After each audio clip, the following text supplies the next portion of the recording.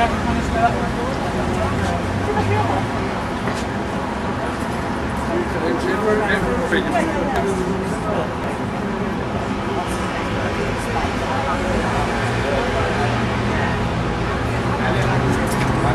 Thank you.